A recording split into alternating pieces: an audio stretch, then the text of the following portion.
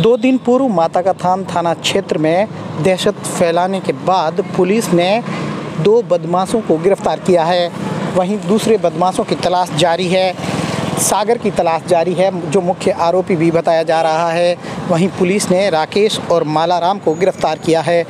Jodhpur police ने आज इन दोनों बदमाशों को लेकर रोड शो किया। रोड शो हम इसलिए कह रहे हैं क्योंकि पुलिस इन्हें लेकर पैदल सड़क पर निकली और जनता के बीच पहुँची और मौका मुआयना भी किया।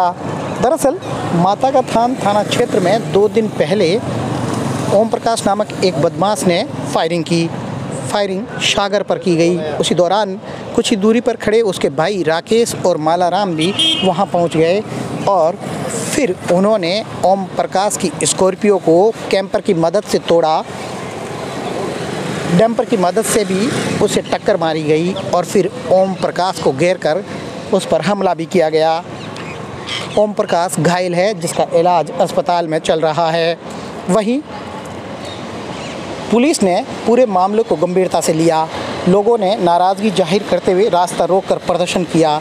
तो पुलिस के आला अधिकारी मौके पर पहुँचे और लोगों को कहा कि वो जल्द बदमाशों को पकड़ लेगी और एक नज़ीर पेश करेगी।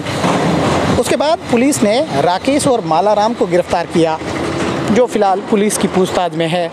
पुलिस आज इन्हें मौका मुआयना करवाने के लिए माता का थान से लेकर निकली। पुलिस पैदल ही इन्हें माता का थान इलाके में लेकर पहुँची, जहाँ लोग वीडियो बना रहे थे, जहाँ लोग ताली बजाकर पुलिस का अभिनंदन कर रहे थे। तो वहीं लोगों ने पुलिस जिंदाबाद के नारे भी लगाए। दरअसल इन बदमाशों के बाल भी लगता है पुलिस ने काट दिए हैं, क्योंकि इनके बाल बिल्कुल कटे हुए नज़र आ रहे थे। देखिए किस तरीके से पुलिस इन्हें लेकर सड़क पर पैदल जा रही है। जगह जगह लोगों का हजूम उमड़ रहा था। लोग इन्हें देखने के लिए खड़े थे।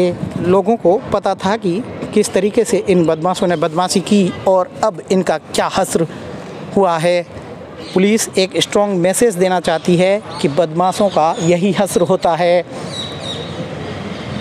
अब देखिए किस तरीके से पुलिस यहाँ इन्हें लेकर पहुँची और फिर मौका मुआवना करवाया रही है और पुलिस के अधिकारी इनसे बात कर रहे हैं कि आपने यहाँ किस तरीके से क्या वारदात की। देखिए पुलिस के अधिकारी इनसे बात कर रहे हैं। ये पूरी घटना इस स्थल पर हुई थी, इसलिए इस इलाके का मौका मुआयना करवाया गया। देखिए किस तरीके से लोग यहाँ उमड़ पड़े। लोग अपने मोबाइल पर वीडियो बना रहे थे। लोग चाह रहे थे कि ऐसी घटना फिर ना हो और बदमाशों को एक स्ट्रॉन्ग मैसेज जाए। इसीलिए इस तरह का पुलिस ने ये रोड शो किया। आप इसे रोड शो कह सकते हैं या मौका मुआवना भी कह सकते हैं, जो भी कहें। वो आपकी मर्ज़ी। लेकिन पुलिस ने एक स्ट्रॉन्ग मैसेज इन बदमाशों को दिया है। अगर कोई दूसरा बदमाश भी बदमाशी करने की सोच रहा है तो पहले इसको देख ले कि बदमाशों का क्या हसर होता है।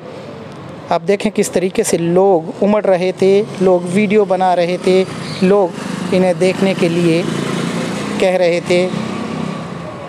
तो जोधपुर पुलिस ने आज एक स्ट्रॉन्ग मैसेज दिया है बदमाशों को कि वो अब बदमाशी इस शहर में स्वीकार नहीं करेंगे। तो एक रोड शो की तरह आरिस इन्हें माता का थान इलाके में लेकर पहुँची। देखिए किस तरीके से लोग उमड़ रहे थे।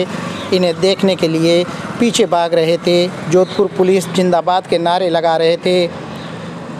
चलिए आपको सुनाते हैं एसीपी राजेंद्र तिवाकर को कि वो इस पूरे मामले के बारे में क्या कहते हैं। तो सुनिए एसीपी मंडोर राजेंद्र दिवाकर को वो क्या कहते हैं। सर बदमाशों को सड़क पर लेकर निकली है जोधपुर पुलिस सर। आज क्या कार्रवाई हुई इस संदर्भ में? अभी दो दिन पहले माता का थान चौराहे पे दो गैंग जो बजरी खनन के अवैध काम में लगे हुए थे उनके मध्य झगड़ा हुआ था। उसमें एक प्रकरण में दो अभियुक्त मालाराम और राकेश अरेस्ट हुए थे। आज उनसे घटनास्थल की मौका दस्ती करवाने के लिए लेके गए। क्योंकि आसपास के एरिया में इनके प्रति बहुत ज़्यादा आक्रोश था तो अतिरिक्त जाब्ता बुलाया जाकर वहाँ मौका तस्ती करवाने के लिए। ठीक है?